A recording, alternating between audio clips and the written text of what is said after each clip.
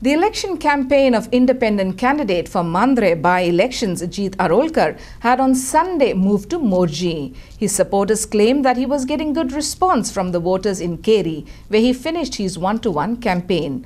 In a small constituency where every vote counts, personal contact with voters would be crucial for candidates to win the elections. Jeet has hit the road once again this Sunday. He sought blessings from the local deity Devi Morjai along with his supporters from Morjim while visiting the voters at their homes.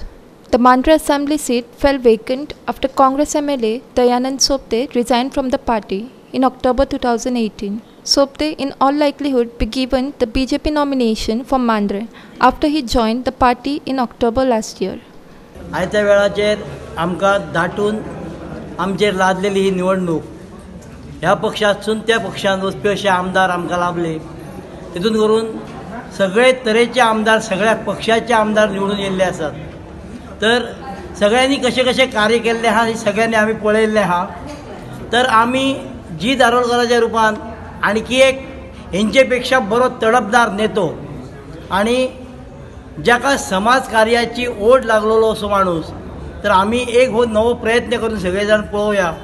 आमी आतां मांद्रे पालये Harmal carry सगळ्या सायडीन door to door केल्ले आसा मांद्रे मतदारसंघाची पोटनिवडणुकीचो आचार आचारसंहिता आता थोड्याच दिसांनी लागतली.